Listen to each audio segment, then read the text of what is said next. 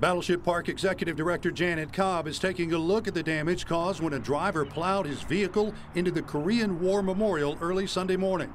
We have to assess the damage. We'll get a monuments company or several to come out and give us some estimates on what we can do to either repair this one or if that the back the big back piece that's broken into three sections, the map of uh, South Korea, and North Korea, if it has to be replaced. Spanish Fort Police said the man was seen by boats at the Bass Pro Shop when he ran from officers. The chase led to the causeway, then the man turned into Battleship Park where he crashed into the monument.